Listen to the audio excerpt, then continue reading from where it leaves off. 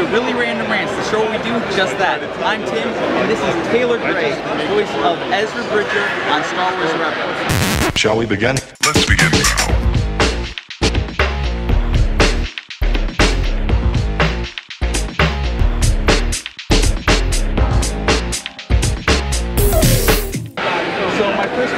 is, how did you get on Star Wars?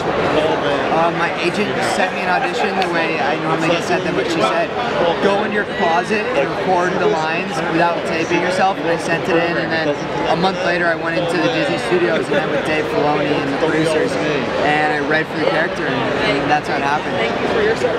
When did it strike you that you were actually going to be in something that was a Star Wars production? Like, when did that- Once they called me to tell me I got the job, they were like, by the way, this is Star Wars. Because there was a code name under it. It was called like Wolf, and it was all under wraps.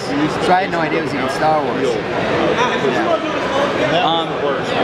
your favorite part about recording?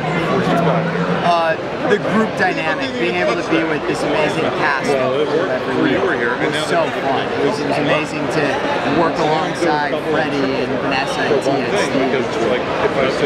And what tips would you give to aspiring voice actors? Never take no as an answer. You audition for so many things and you get told no a lot, but don't let that deter you.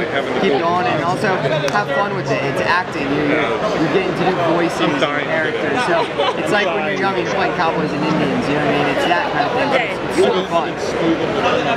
Um, my final question for you is, where can people find you on your social media?